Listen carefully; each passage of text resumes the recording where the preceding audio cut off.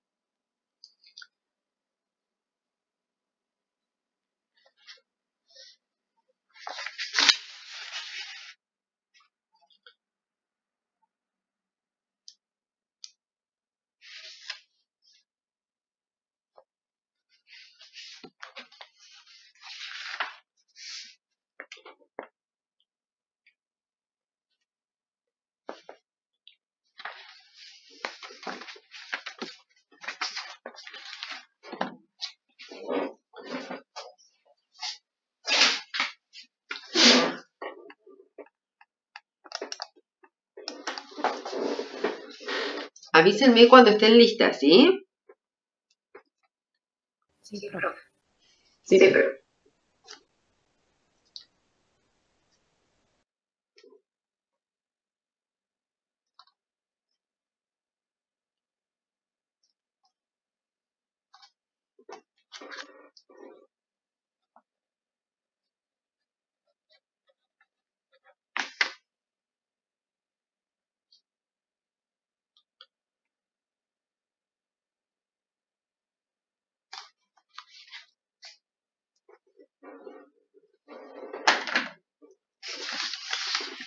La primera me genera un poco de conflicto, el abuso.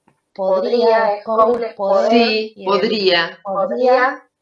Tener Ja es, eh, ahí está como, como verbo principal. como verbo principal. Entonces es tener, podría tener. Podría tener. Ah, bien.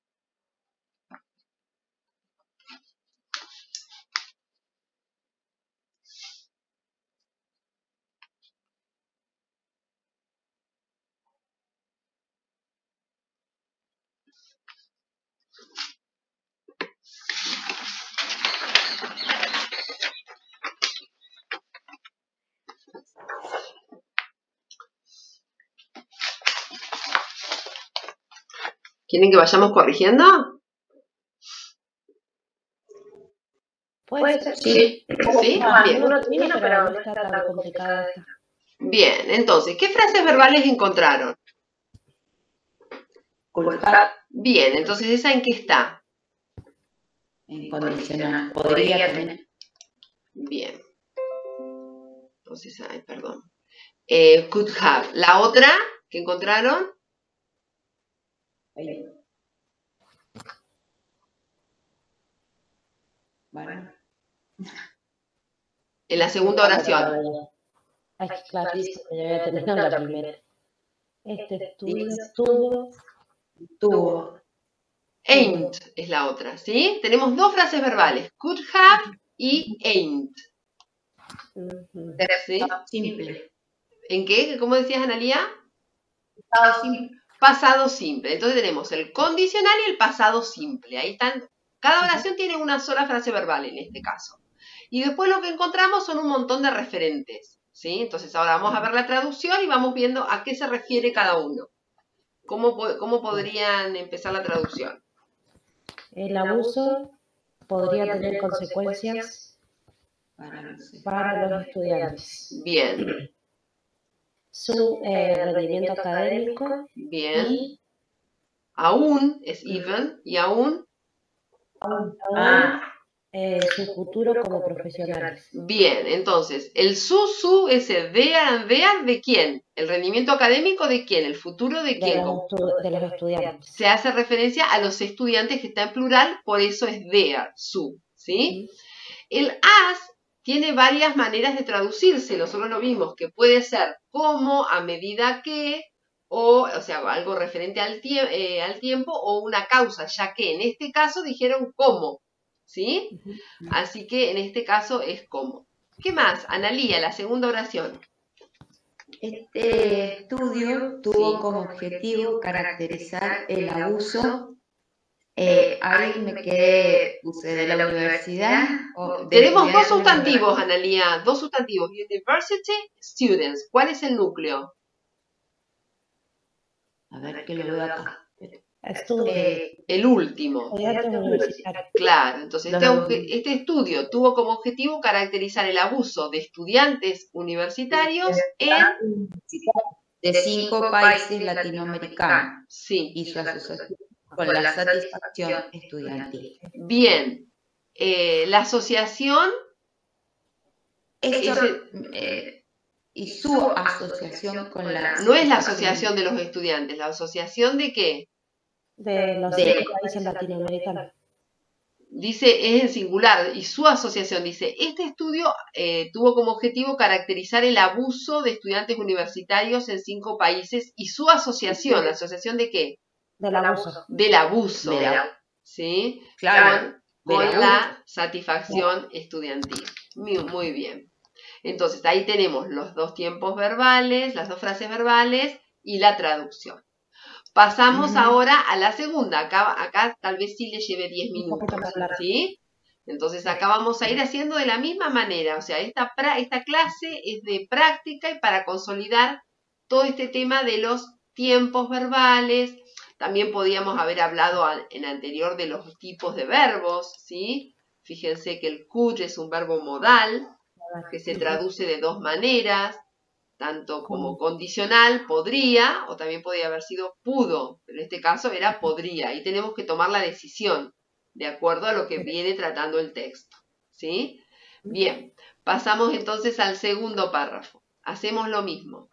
Trabajan con eh, las frases verbales a medida que van haciendo la traducción, van encontrando eh, los distintos elementos. ¿Sí? Entonces, yo tengo 9 menos 5, a las 9 y 5 les pregunto eh, cómo están y si tienen antes, yo estoy acá, así que me, me avisan. Bueno, si están gracias. listas antes. Bien.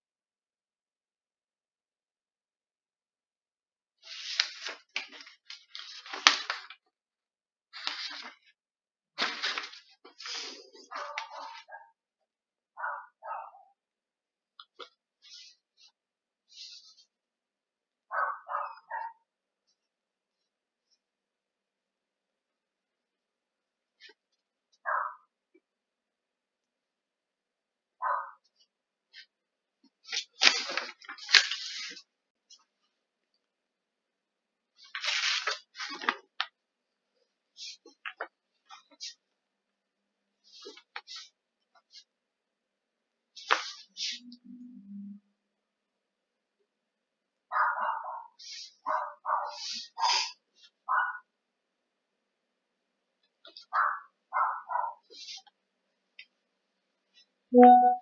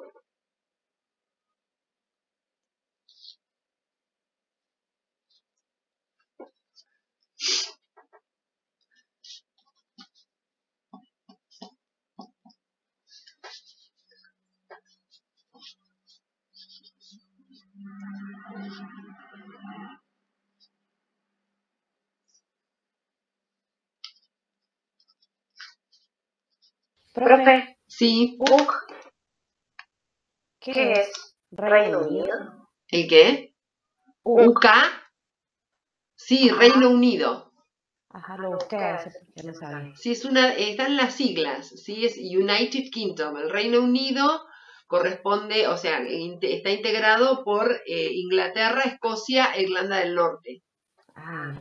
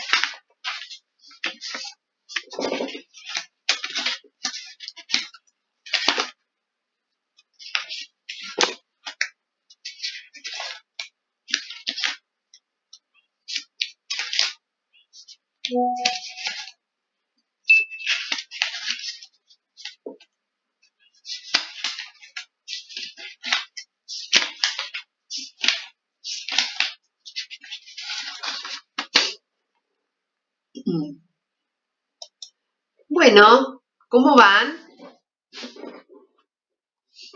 Ahí me falta la última y termino.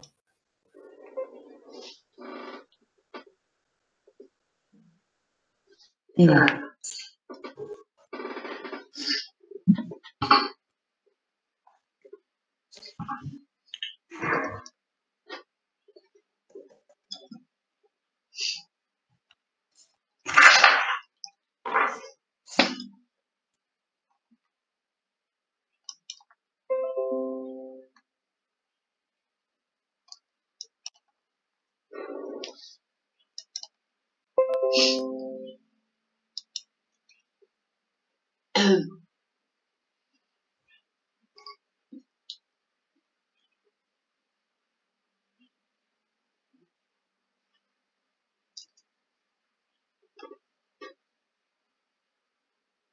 ¿Cuál sería el primer verbo que encontramos? Muy bien, ¿en qué tiempo está? En presente. En presente. ¿Qué otro verbo encuentran en esa oración? No. ¿Qué le No. Eh... Ar. Ar. ¿En qué tiempo está? También. También en presente, ¿sí? Son verbos, frases verbales simples. Pasamos a la otra oración.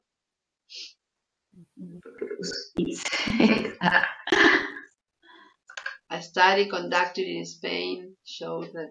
¿Cuál sería la frase verbal ahí? Eh, conducted. No, porque ¿cómo hicieron la traducción ahí? Un estudio Conducido. Conducido, está como postmodificador, no está como verbo. ¿Mm? Cuando está solo, showed, ahí sí está como verbo. ¿En qué tiempo? Termina en ed. En pasado. En pasado, es una frase verbal simple, también es pasado simple. ¿Sí? Demostró, mostró. ¿Sí? Sí. Bien, ¿qué otra frase verbal encontraron en la, en la otra oración? However, in Latin America, Is. is, ¿en qué tiempo está? En presente. En presente. Y luego, ¿hay otra frase verbal más? Puede incluir. Bien, ¿en qué tiempo está? Puede incluir, influir Sí. eh, condicional. No, condicional no, sería podría. La terminación IA es condicional. Yo digo, puede influir en qué tiempo está ese, el primer verbo, can, En presente. en presente. Presente. Y en la última, ¿qué tenemos? La primer, Ese es presente continuo. no, continuo es cuando tiene ING. Simple. Tenemos Simple, es presente simple de el verbo, con un verbo modal. ¿Mm? En la última tenemos is Is, Eh, muy bien, en es. presente. en presente. Y ninguna más, ¿no es cierto? Bien. Nada. Tenemos otros elementos también acá, por ejemplo, tenemos the most important and the most influential. De, esta, de esto, nosotros teníamos que era, ¿qué caso era? The most. Un comparativo de más.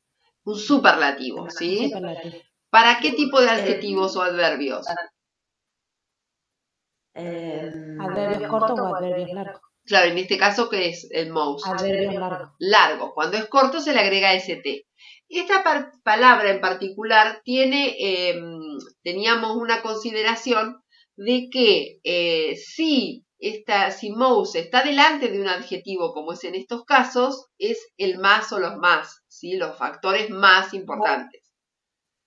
Eh, las variables más influencia, eh, influyentes.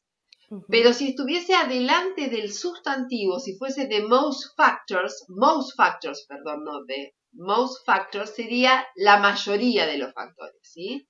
Cuando está delante del adjetivo, es el más o lo más o las más, y cuando está delante del sustantivo, es la mayoría de.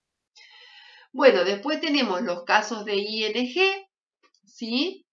Que eh, acá tenemos una enumeración. Teaching, Organization and Management. Entonces, teaching, ¿qué va a ser?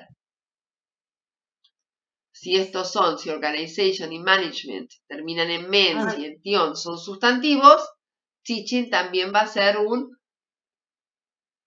sustantivo núcleo, ¿sí? Es una enumeración de sustantivos núcleos, ¿sí?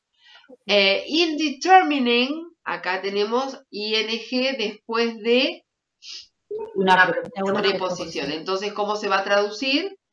Determinar. Claro, en infinitivo. Y acá otra vez tenemos una eh, enumeración. Teaching, reputation, academic reputation, sports activities, o sea, tenemos reputación académica, actividades deportivas y esto entonces sería también un sustantivo núcleo. Luego tenemos dos conectores, however, ¿de qué dijimos que era? De contraste. De contraste y therefore de consecuencia. Y algunos referentes que van haciendo el texto que eh, tenga cierta coherencia y cohesión, que sea eh, unido y que se pueda seguir la idea. Veamos cómo hicieron la traducción, a ver, una oración cada una. Bueno, ¿me empiezo? Dale. Puede ser informes o reportes, la primera palabra. Sí, le podés agregar el artículo, ¿sí? Entonces, los informes. Los informes del Reino Unido muestran que la calidad de la enseñanza organización y gestión son los factores más importantes para determinar la satisfacción de un estudiante. Perfecto, muy bien. Seguimos, Analía. Eh, un estudio realizado en España eh, demostró que la docencia, eh, la reputación académica, las actividades deportivas y los programas internacionales son las variables más influyentes en la satisfacción de los estudiantes. Excelente, muy bien. Seguimos, Bárbara. Bueno, sin embargo, en América Latina el contexto es diferente.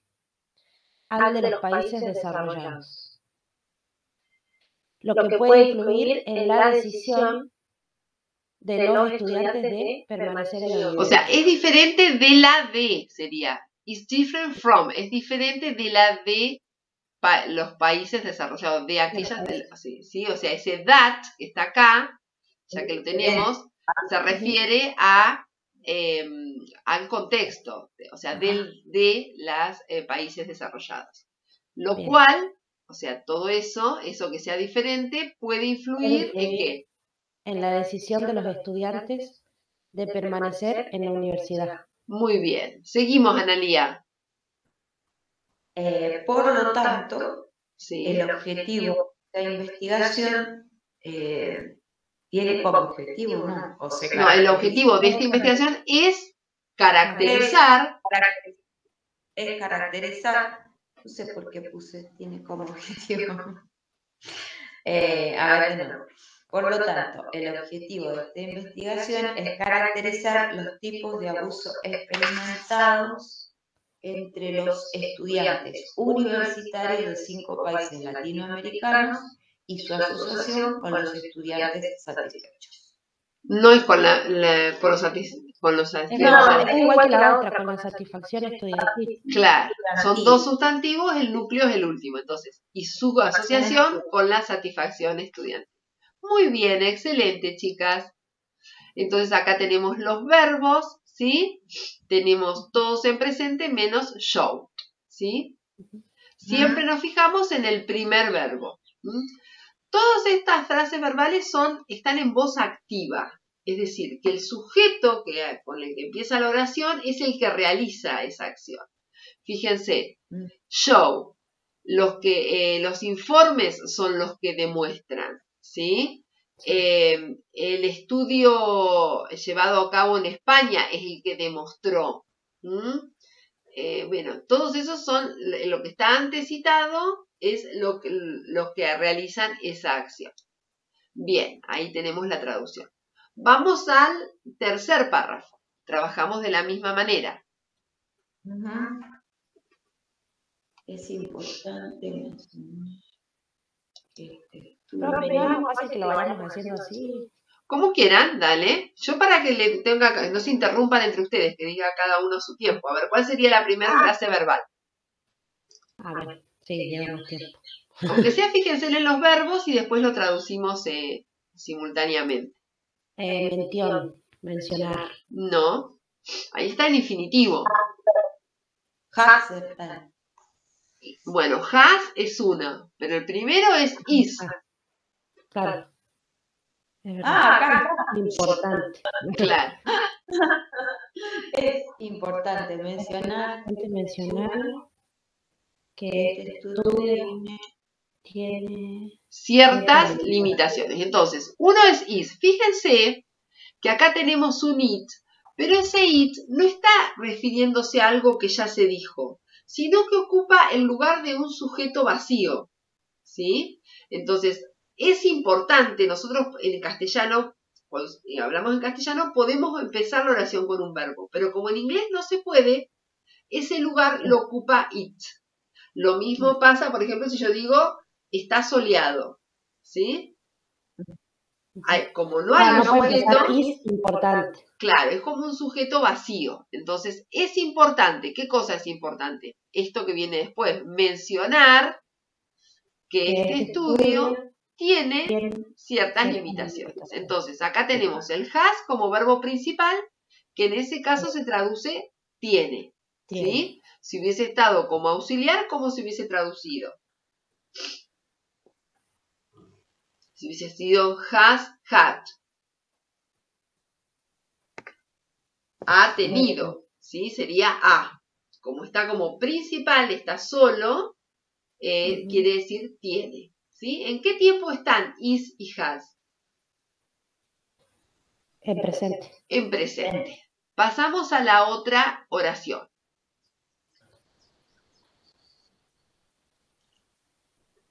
Los resultados no pueden ser extrapolados. Mm. a todos los estudiantes de los países mencionados. En este estudio, ya que no, profe, ya que no, ninguna sería muestra al azar.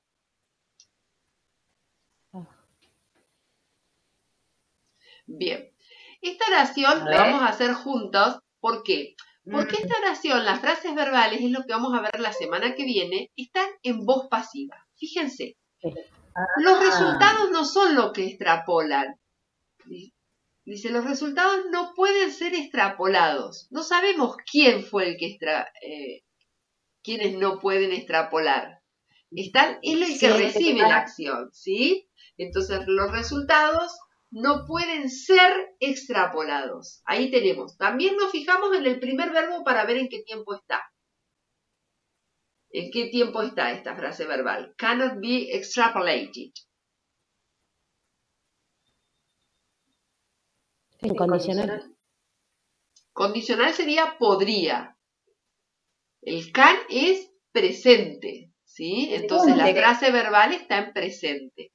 Es una frase verbal en voz pasiva.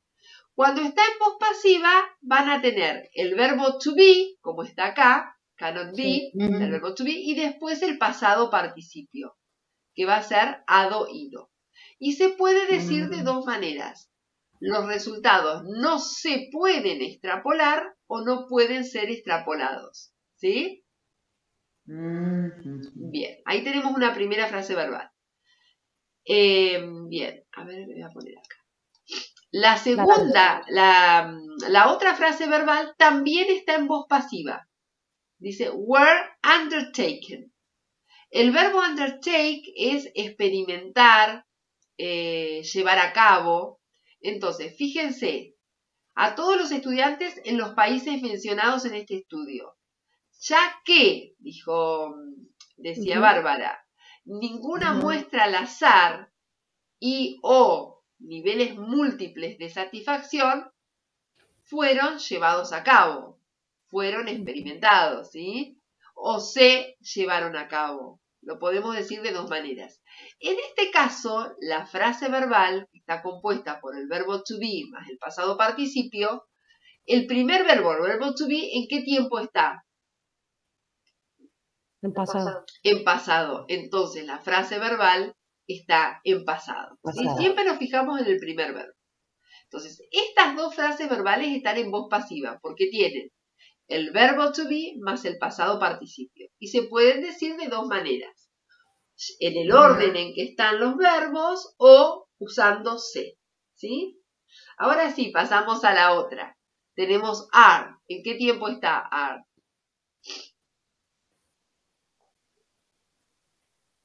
Eh, presente. Presente. ¿Sí? Entonces, los resultados son muy son de todas maneras muy valiosos. Muy valiosos. Ya que otra vez, otra vez de causa. Por primera vez. Bien. Por primera vez, they shed light on. Esta es una frase muy propia de textos académicos que es eh, derramar luz, o sea, iluminar, ¿sí? se usan ciertas metáforas en los textos eh, académicos em, en el sentido de que eh, iluminan o traen nuevos conocimientos sobre, ¿sobre qué cosa? Sobre el abuso el abuso enfrentado por estudiantes y la asociación con su nivel de satisfacción percibida sí. en una población estudiantil, estudiantil latinoamericana diversa y amplia. White es ancho, pero también es amplia, ¿sí? Entonces, acá tenemos, fíjense, Is está en presente. Has está en presente. Frases verbales simples. Acá tenemos esta en voz pasiva. Cannot be extrapolated. Otra, eh, esta está en presente. Acá tenemos en pasado en voz pasiva. Were undertaken. El are en presente simple y el shed en presente simple. Y la traducción nos quedaría. Es importante mencionar que este estudio tiene ciertas limitaciones. Los resultados no pueden ser extrapolados a todos los estudiantes de los países mencionados en este estudio, ya que o dado que ese as, muy bien, que es el caso de, eh, de, efecto causa, no se eh, estudiaron, no se tomaron eh, muestreos aleatorios y o niveles múltiplos de estratificación, o no se llevaron a cabo, ¿sí? Eso lo pueden pasar a la frase verbal adelante, como está acá, o decirla al final como la dijimos hoy.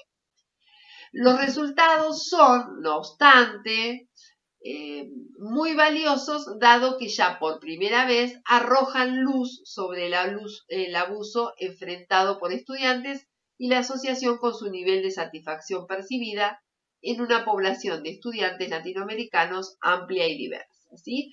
O sea, puede variar algunas partes que las dijimos distintas, no hay una sola versión, pero responde a esas estructuras. ¿Alguna pregunta de esto? No. ¿No? Bien, nos queda esta cortita. A ver, vamos a ver, vamos a hacerla juntos. Fíjense, acá la primera frase verbal también está en voz pasiva. ¿Por qué? Porque ya, o sea, porque el it habla de algo vacío también, como dijo usted. No, eso es sujeto vacío, otra vez, voz pasiva quise decir, no, está en voz pasiva. El it es un sujeto vacío, muy bien. Eh, no, no, no, no se refiere a algo que se dijo, en este caso, ¿no? No siempre es así. El ya, el already lo despejamos. Entonces podemos empezar la traducción como ya. Está el verbo to Ha establecido. Claro. ha sido establecida. El has, eh, la frase verbal ah, está compuesta por has been established. Puedo decirlo, queda mejor con C. Ya se ha establecido. Establecido. ¿Sí? Ya se ah. ha establecido. ¿Qué cosa? Que, esta investigación es de naturaleza es, contextual en su naturaleza o en la naturaleza, ¿sí? Por ah, lo tanto, el therefore. La, las instituciones universitarias. Bien. Deberían. Carry out de llevar a cabo, deberían. Deberían llevar a cabo. Investigaciones. Una investigación longitudinal. ¿Para qué? Para medir. Sí la causalidad de los diferentes aspectos de la satisfacción. Excelente. Bien. Fíjense, tenemos therefore, el de consecuencia, y las frases verbales tenemos una en voz pasiva y otra en voz activa, porque no tiene el verbo to be más el pasado participio. ¿En qué tiempo están cada una? ¿En qué nos vamos a fijar? En el verbo principal. Bien. En el principal no, perdón. En el, en el, primero. En el primero. Bien. Entonces, la primera frase verbal. Eh, has, ¿en qué está? El primer verbo has. ¿En qué está? Ha establecido. En presente. Entonces, la frase verbal está en presente. Should, ¿en qué está? Termina en IA, debería, debería, termina en IA. Está en, condicional. En condicional, ¿sí? Entonces la frase verbal está en condicional, ¿sí? Ahí la tenemos. Bien, y la traducción, entonces se ha establecido, ven que al no lo traducimos y solamente ocupa ese lugar de sujeto vacío, que esta investigación es contextual en su naturaleza. Por lo tanto, las instituciones universitarias deberían llevar a cabo, realizar una investigación longitudinal para medir la causalidad de los diferentes aspectos de la satisfacción. Más o menos parecido a lo que dijimos nosotros. Bien, tenemos esta otra. Quieren tomarse un tiempito de esta para analizarla porque están bastante interesantes las frases verbales. Bueno,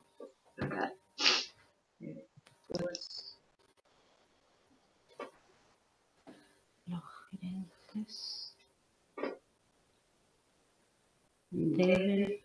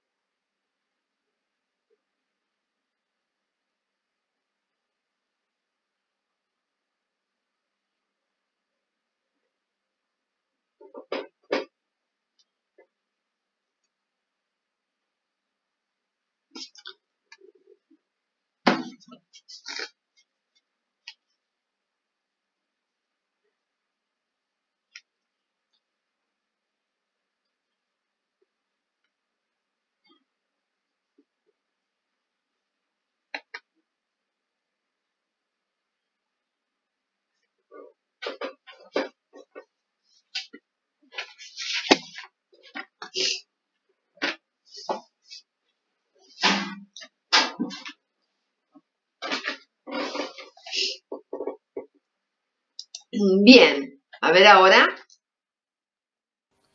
Sí, algo identifique. Bien, ¿cuál sería la primera frase verbal? Show. Pero solo no puede ser porque es un verbo modal. Show exert. Bien, should exert. Bien, ¿en qué está? Deben hacer en Deberían. Ah, Acordate que should es condicional, ¿sí? deberían. Ahí lo voy a anotar.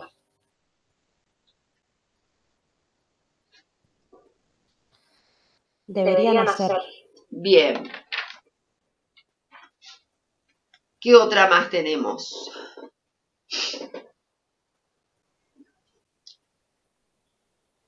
La segunda oración. Pero no está solo. be. Would have, would have. to be. Ese have to be, cuando es have to, es un uso especial de have. ¿Cómo se traducía? Esto tendría que ser. Claro, tendría que. Entonces ya would have tendría que. ¿En qué está? Should está en condicional, el would ¿qué es también? Está en condicional. También es condicional. ¿Qué otra frase verbal tenemos en esa oración?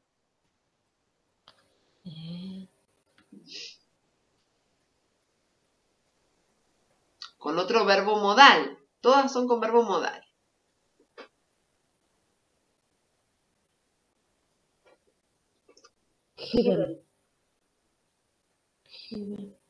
Will continue. Ah, will continue. ¿Y el will de qué, qué tiempo marca?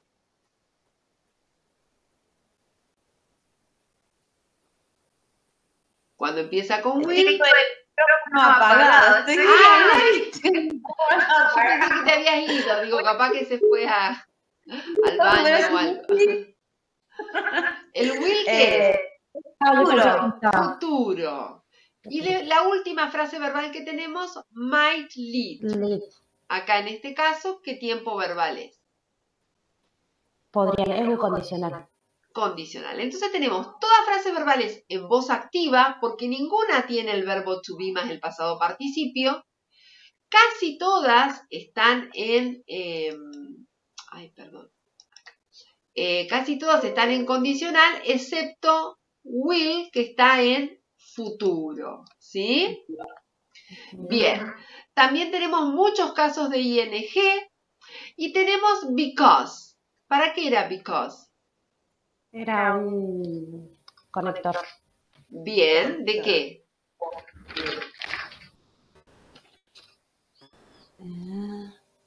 ¿Cómo se traducía because?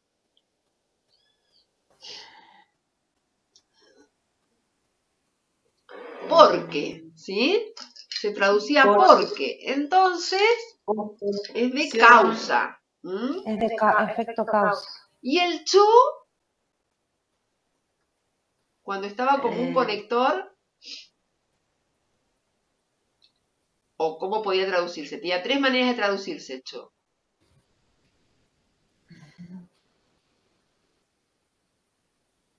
A, hacia, o para también, o no traducirse. ¿Sí? Entonces, A utilizar. Bien, entonces vamos a hacer la traducción de la primera oración. A ver, Analía. Para, sea, sería ese, ese, el, perdón, el to, el, el to use. ¿eh? Ahora vamos a ver cuando lo traducimos, entonces, de cuáles de las formas corresponden. ¿Sí? Entonces, la primera oración, gerentes- Los gerentes deberían hacer un esfuerzo decidido para eh, notar más que decidido, eh, intencional. ¿Sí? ah, intención. Sí. Deberían ejercer un esfuerzo, o deberían hacer un esfuerzo hacia o, o Para notar o identi- e identificar, sí, analizar las implicaciones y ajustar apropiadamente las, las metáforas en uso en sus lugares de trabajo. perfecto. Entonces, eh, acá tenemos dos que están unidos por, o sea, están revinculados a la preposición, esfuerzos o para o a, para, eh, a- para notificar e identificar. Después tenemos uno que está después de la coma, ¿sí? Podemos decir analizando, o si no, puede ser una enumeración, ¿sí? Esfuerzos para notificar e identificar, analizar las implicaciones y o analizando, como dijiste vos después de la coma, analizar las implicaciones de y ajustar apropiadamente las metáforas en uso en sus lugares de trabajo. Bien. Eh, esto esto tendría que ser un proceso continuo. Bien, ahí está como premodificador continuo porque... Porque la elección... Sí, de las metáforas... De las metáforas a utilizar dentro de cualquier, organización, o incluso... Sí. Puede ser, o incluso por una persona determinada. Sí se irá cambiando por el tiempo. Bien, entonces dijimos, las metáforas para usarse sería, ¿sí? Dentro de cualquier organización, entonces es el propósito, ¿sí? Cuando decimos para, es propósito. ¿Y acá qué decimos? ING después de la coma. Puede ser requerir. Requiriendo. Requiriendo análisis muy intencionados me cortó, profe. Ah. Salí no tocaba nada, no sé. Salía igual como que estabas ahí. Estaba, sí, figurabas como que estabas. Sí, no, no. Se, me, me apareció este, todas las aplicaciones, todo. Ah. No, la llamada. Ya estamos y no terminando. Sé, Requiriendo entonces análisis, eh, análisis muy eh, intencionales sobre cómo las metáforas adoptadas podrían conducir a comportamientos poco éticos. Sí o no éticos. Muy bien, excelente. Muy bien, chicas, han trabajado. ¿eh? Acá tienen una versión, ¿sí? Em, y tendríamos después la última parte, que es eh, ubicar las frases verbales dentro de los tiempos, que lo fuimos haciendo nosotros, ¿sí? sí. Entonces, lo único que acá no está en esta lista es eh, la de eh, los condicionales, pero se pueden los pueden ir eh, ubicando también porque los condicionales tienen, tienen, tienen un tiempo que lo marca el primer verbo. Entonces, si empieza con con can sería presente, sería presente simple. Si, empieza, si está en eh, condicional iría en este grupo, ¿sí? Nosotros lo único que ubicamos es eh, si es presente, pasado, futuro o condicional. Bien. Entonces, esto sería la clase de hoy. Es simplemente integrar todo esto porque la clase que viene vamos a trabajar con eh, la voz pasiva, que es el último tema. En cuanto a los tiempos verbales irregulares, pueden ir haciéndose de ahí extrayendo algunos verbos para poner en su glosario o marcarlos ahí con un resaltador los más eh, importantes eh, que se vienen repitiendo en los textos de, eh, educación. ¿sí? bueno, el resto, el que no pudo participar, trate de hacer la actividad para ir consolidando esto. La verdad que las chicas trabajaron excelente. Eh, de una manera eh, muy activa y, y, aparte fue diciendo, fueron haciendo traducciones eh, espontáneas, inmediatas. Bueno, muchas gracias. Hoy termina antes la clase. nos vemos el martes. Muchas gracias. Chao, Analia. Hasta luego. Chao. Chao.